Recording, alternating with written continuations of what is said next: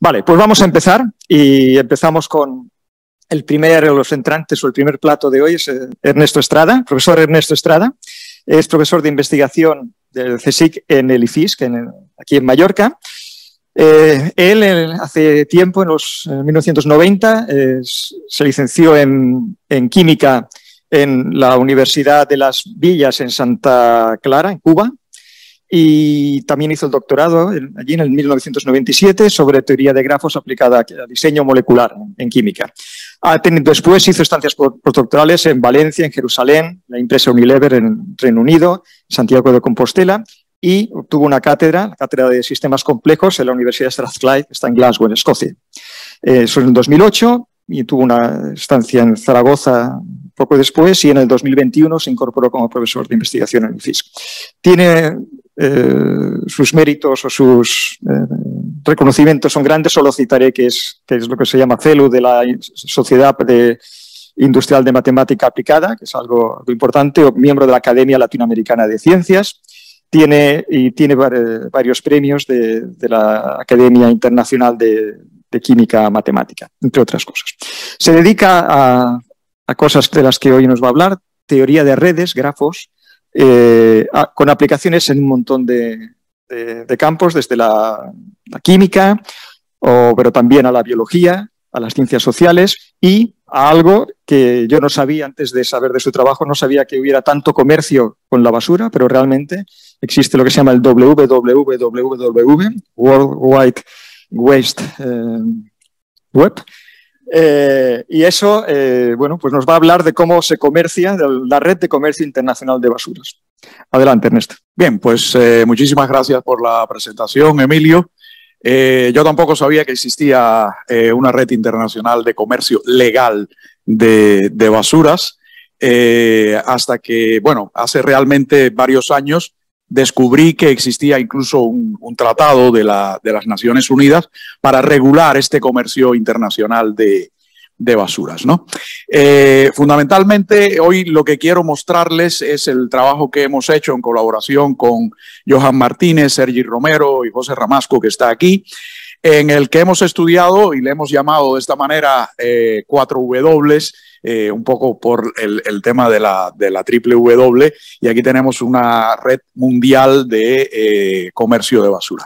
Pero fundamentalmente quiero eh, mostrarles la gran asimetría que existe en este comercio a nivel internacional, que se puede reflejar bien por esta gran grieta que existe entre el norte desarrollado y el sur que está en, vías de desarrollo. Eh, el objetivo fundamental, me molesta un poco las luces, por eso estoy escapando, eh, estoy eh, escapando. aquí ya no me molesta. La, la idea fundamental de este trabajo es poner en el contexto científico algo que se comenta en la prensa, que se comenta en, los medios sociales, etcétera, y eh, contextualizarlo eh, de una manera eh, lo más cuantitativa y lo más rigurosa posible. Bien, todos, no me cambia. ¿Estoy muy lejos? Vale. Todos generamos basura. Esto es algo que no se nos escapa a nadie. Eh, ¿Qué pasa con esta basura que generamos? Bueno, pues una parte de esa basura se recicla. En Europa en el año 2020 se recicló el 38% de la basura. Otra parte se eh, deposita en los vertederos. En Europa se depositó como media en el año 2020, son los datos más recientes, el 30%. Hay países que reciclan el 0% de sus residuos y que depositan en vertederos casi el 100% de sus basuras. Y luego está lo que eh, descubrimos hace unos cuantos años, que existe un comercio legal de basura. ¿Por qué existe un comercio legal de basura? Por dos razones. La basura tiene un valor. Usted puede extraer materias primas de la basura y al mismo tiempo porque no todos los países son capaces de procesar, no tienen las infraestructuras apropiadas para procesar todos los tipos de basura. Por tanto, en un mundo ideal, yo le vendería a usted eh, la basura que no puedo procesar, usted la procesa y usted eh, extrae de ella materias primas que después puede vender o reutilizar en ese mundo ideal y eh, yo obtengo un beneficio por ese comercio de la basura. En general, en los últimos 20 años se ha comerciado alrededor de un 10% de la basura que generamos en el mundo. Y existe un porcentaje que evidentemente no conocemos cuál es, que es tráfico ilegal de basuras. Usted puede encontrar varios tipos de ejemplos, desgraciadamente muy penosos, porque han incluido eh, eh, incluso la pérdida de, seres humanos de tráfico ilegal de estas basuras. ¿Por qué? Porque algunos listillos, pues evidentemente tratan de sacar beneficio y en lugar de venderlo eh, teniendo en cuenta todas las, digamos, las legislaciones internacionales, pues se las saltan a la torera y lo hacen a su manera. Vale, pues este más o menos sería el panorama general y yo me voy a concentrar fundamentalmente en lo que es este comercio legal de basura, que es de la que hemos podido coleccionar datos. Bueno, la Red Mundial de Comercio de Basuras, lo que es la eh, W4, consiste en todas las cantidades de basuras peligrosas que están categorizadas por la Convención de Basilea, que es una convención de las Naciones Unidas para eh, controlar los movimientos transfronterizos de estas 108 categorías de basuras que están clasificadas entre todos los países. Por tanto, tenemos una red en que cada uno de los países representa un nodo de la red y tenemos conexiones que son dirigidas entre pares de países de acuerdo a la cantidad que un país exporta al, eh, al otro. Como se puede ver eh, fácilmente, prácticamente todo el mundo está involucrado en esta red. O sea, es posible que haya países que no tengan Internet, pero basura seguramente que tienen y participación en el comercio de basuras también. Vamos a dar algunos números. En el periodo 2001-2019, que es el que estamos estudiando, se comerciaron 1.400 millones de toneladas de basuras peligrosas. Esto es 4.000 veces el peso del Empire State. No estoy haciendo ninguna comparativa basura-basura, es, simple casualidad. Eh, esto es una cantidad enorme de basura. Yo lo había traducido a, otra medida universal de lo científico, que es el número de piscinas que llenaríamos con, con, basura y era una barbaridad. Entonces, eh, esta basura, como dicho, está categorizada en 108 categorías. Esto era prácticamente un, una pesadilla para poderlo modelizar, para poderlo cuantificar. Entonces, una parte importante del trabajo ha sido reclasificar esas 108 categorías en siete categorías que eh, incluyen toda la basura comercializada y de las cuales hay tres categorías que son las más importantes y en las que me voy a centrar aquí. Como veréis al final hay un artículo en el que analizamos todas esas siete categorías. La basura de tipo 1 Incluye basura fundamentalmente proveniente de hospitales, clínicas, residuos médicos, etc. Por favor, no miréis las fotos. Podéis enfermar. Incluye también desperdicios de la industria farmacéutica, de la biofarmacéutica, incluso de la eh, eh, biopesticidas. El 36% del comercio de basuras se refiere a las basuras de tipo 2. Y las basuras de tipo 2 son basuras que fundamentalmente contienen metales pesados.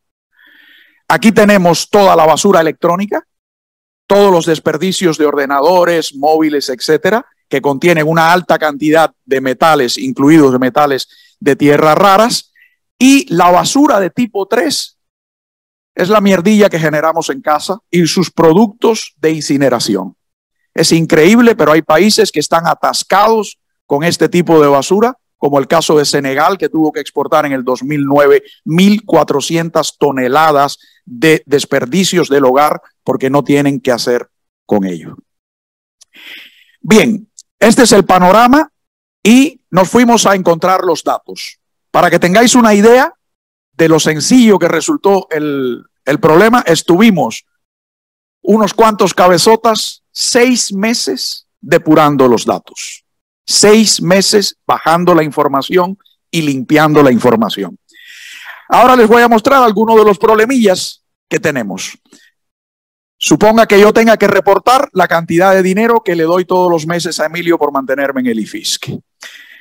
Vale, pues yo reporto que le he dado 100 euros a Emilio este mes y Emilio tiene que reportar la cantidad de dinero que yo le he dado. Y Emilio reporta al mismo, a la misma institución que ha recibido 80 euros.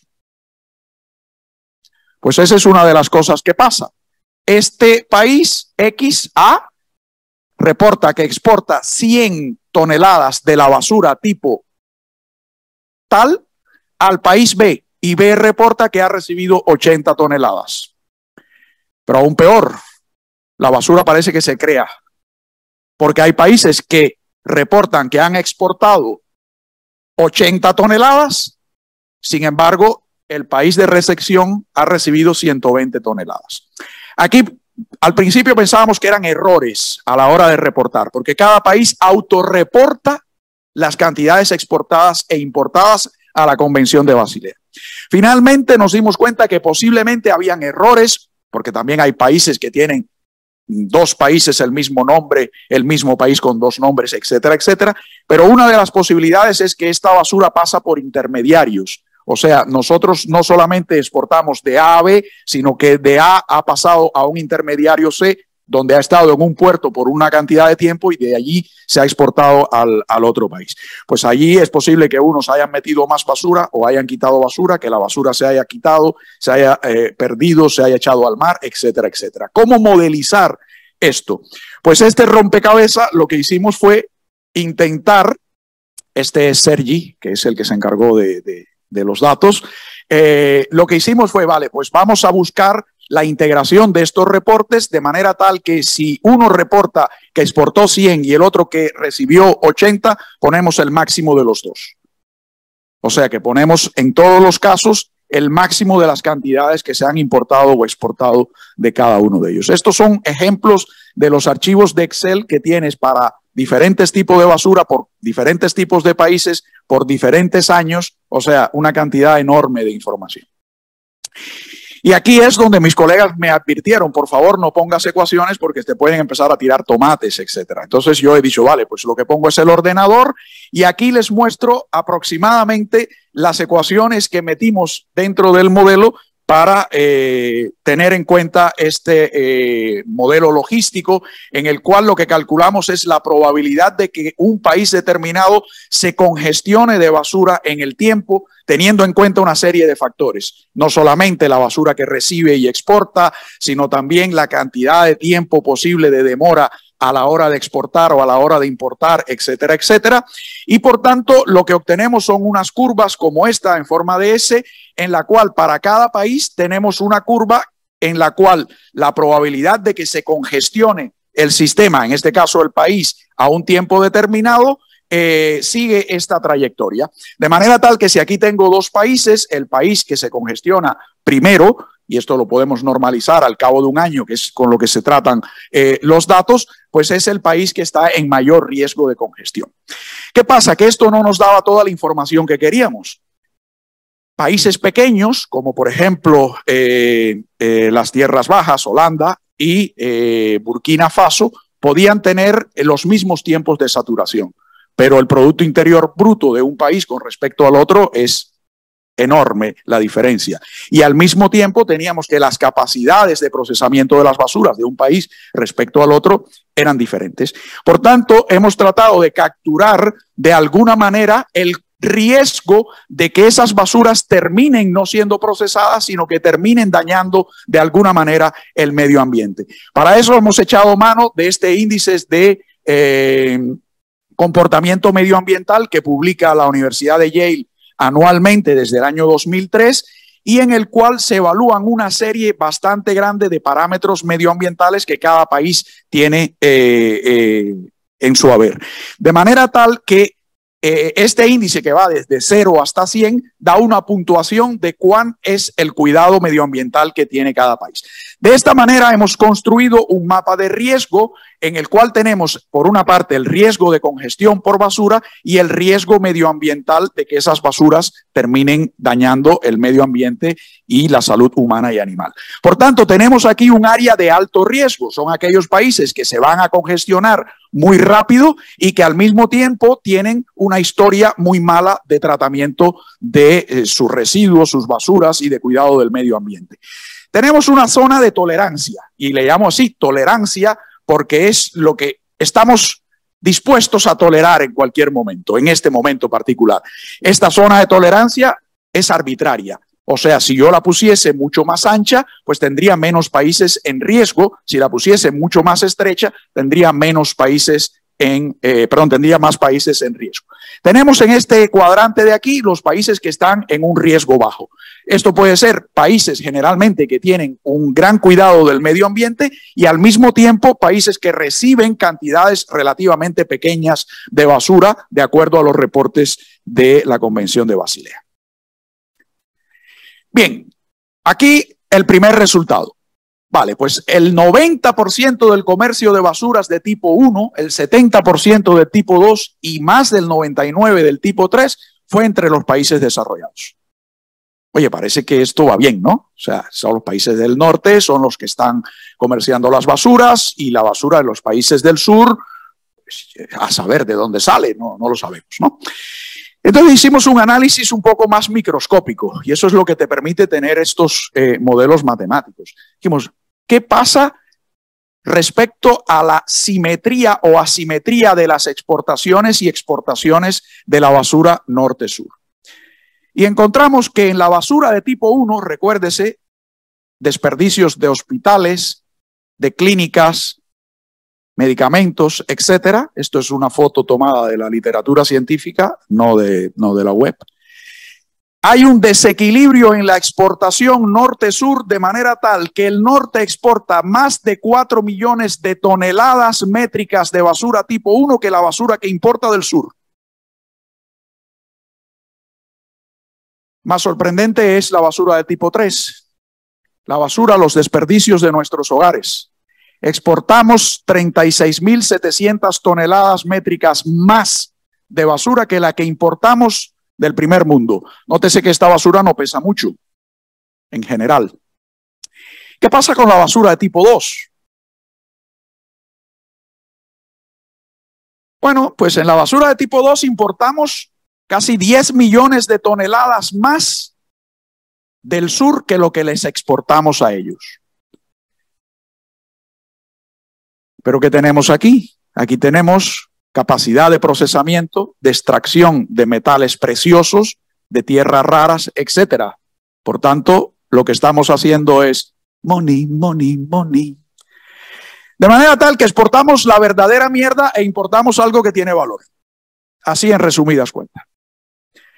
Aquí tenemos los mapas de riesgo por tipo de basura. Estos son imágenes de la literatura científica, no es novismo de la red, donde tenemos el riesgo de impacto medioambiental por basuras contra el riesgo de congestión por basura, tenemos la zona de tolerancia, la mayoría de los países europeos están en la zona de tolerancia, creo que son los, los Malva, efectivamente, algunos con bajo riesgo, incluso algunos países de Latinoamérica con bajo riesgo, y luego un conjunto de países, fundamentalmente de África y de Asia, que están en un alto riesgo de congestión de basura y de que la basura no sea tratada de manera apropiada y dañe el medio ambiente y la salud. Lo mismo para la basura de tipo 2 y lo mismo para la basura de tipo 3. ¿Qué hemos hecho? Hemos intentado trazar la huella química que deja cada una de esas basuras, y esto ha sido un trabajo realmente bastante complicado, porque hay huella química de muchas cosas que no necesariamente son la basura, por lo tanto el trazado fue eh, bastante difícil y nos hemos concentrado en tres tipos de huella química. Primero, los eh, contaminantes orgánicos persistentes, bifenilos policlorados, eh, hidrocarburos aromáticos policíclicos, cosas que cuando entran en el organismo o en el ciclo de la vida pueden quedar allí por, bueno, por el tiempo que usted viva, iba a decir por miles de años. Eh, tenemos los compuestos orgánicos volátiles. Bueno, pues el metano es un ejemplo típico, pero productos de, eh, de combustión, etcétera, que se pueden generar y pueden contaminar aguas y suelos. Y también los metales pesados, en, en, inglés heavy metal, pero no tiene nada que ver con los rockeros. Y hemos encontrado que podemos trazar los tipos diferentes de basura. Estas I son las categorías de la Convención de Basilea con la huella química y esa huella química con los diferentes países. De manera tal que hay países en los cuales tenemos contaminación o potencial contaminación por los tres tipos de huella química, como estos que están aquí arriba, y algunos en los cuales tenemos contaminación pues solamente por metales pesados o por eh, compuestos orgánicos persistentes, etcétera, etcétera. ¿Cuál es el impacto? Pongo entre comillas, porque lo de impacto parece que es algo bueno y en este caso no es nada, absolutamente nada bueno. Datos reportados por la literatura. En Senegal, año 2009, 18 niños muertos por intoxicación por plomo proveniente del reciclaje informal de baterías de coches. Senegal no produce baterías de coches. India, 2009, 60 muertos por hepatitis B debido al uso de jeringuillas recicladas informalmente de la basura. Esas imágenes que teníais allí, hay contaminación de eh, esas jeringuillas que se utilizan. Luego, como están mal depositadas, mal recicladas, etcétera, pueden ser utilizadas por cualquiera con cualquier fin y siempre está el aprovechado que las utiliza, eh, las vuelve a vender para obtener dinero. Guiyu, Guiyu, antes de una prohibición impuesta por China a la importación de basuras electrónicas, recibía el 70% de la basura electrónica del mundo.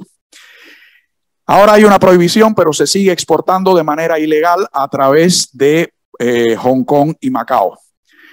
Pues hay casos reportados en la literatura con retraso mental y disminución de la capacidad vital en recién nacidos debido a la contaminación por metales pesados provenientes de el reciclaje informal de basura electrónica. Solamente el 25% de la basura electrónica se reciclaba formalmente.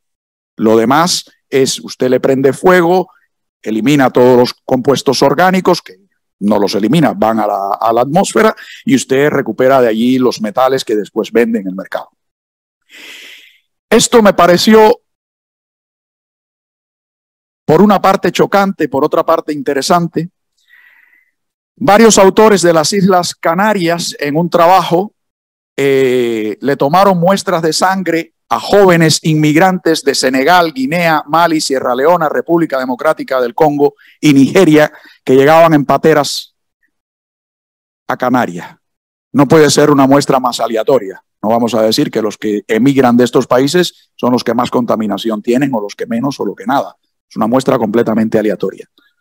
Todos contenían niveles extremadamente altos de bifenilos policlorados, que si usted lee, produce disfunciones inmunitarias, neurológicas, alteraciones hormonales del desarrollo, trastornos neuroconductuales y un largo etcétera. Y se pudo trazar que estos bifenilos policlorados con gran probabilidad eran provenientes del el reciclaje informal de basuras electrónicas. Bien, ¿Han cambiado las cosas en los últimos años? Sí, pero no para bien. En el estudio lo que hicimos fue encontrar cuál es la tendencia en los últimos, en los años, los 10 eh, del 2001 al 2019, los 20 años que hemos estudiado, en la eh, mala actuación medioambiental de los 28 países que encontramos que estaban en riesgo contra la tendencia de esos mismos países a la congestión por basuras. En este cuadrante están los que han empeorado en ambos y en este cuadrante los que han mejorado en ambos. Ya usted saca las conclusiones por usted mismo. Bien, no quiero ser eh, aguarle la fiesta a nadie y eh, quiero que nos centremos en qué nos enseña este estudio. Como he dicho, esto pone en la palestra científica algo que no estaba en el debate científico. Aunque la mayor parte del comercio legal de basura se realiza entre países del norte, sí que existe un desequilibrio cuantificable norte-sur en la exportación e importación de basuras peligrosas que es además asimétrico de acuerdo a su valía. Que existen países que se encuentran en alto riesgo de congestión de basuras con potencial daño medioambiental y a la salud humana y animal. Estos países todos son del sur. ¿Por qué seguimos exportando a ellos? ¿Por qué no hay una prohibición por parte de las Naciones Unidas? Ahora lo hemos puesto en la palestra. Ahora se sabe quiénes son esos 28 países. Se debería, por tanto, limitar, prohibir la exportación de basura a estos países mientras no se invierta en infraestructuras en dichos países para procesar y almacenar de forma segura dichos residuos. Que las basuras pueden ser una importante fuente de empleo y riqueza. Coño, eso ya lo vemos. Si importamos basura electrónica y sacamos dinero de ella, por tanto, ¿por qué no podríamos ayudar a los países del sur a desarrollar las tecnologías para su eh, explotación? Esas son algunas de las cuestiones que hemos eh, encontrado y que nos ha enseñado este estudio. Muchísimas gracias por su atención.